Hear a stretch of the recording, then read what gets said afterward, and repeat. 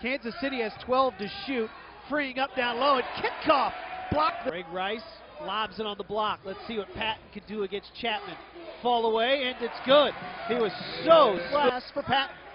Espo from 25 feet, and IUPUI leads by three. Gives out top, bounce past the entry to Mitch. Left-handed hook is good. Mitch Korver got his own rebound. Pass intercepted by Esposito.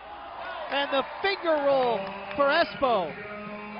PJ Hubert had it for a quick moment. Here's Rice in the corner pocket. And the Jet. Mitch has it on the block. Mitch, paint. Mitch turns, fires. He got it. Full team. He'll kick it out. Extra pass. Espo. He's free for a three. We're tied at 36. Court.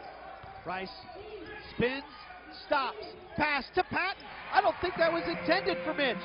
Jags down by three. Espo to Rice. Rice drives in, stops, pops from five. It's good. One point.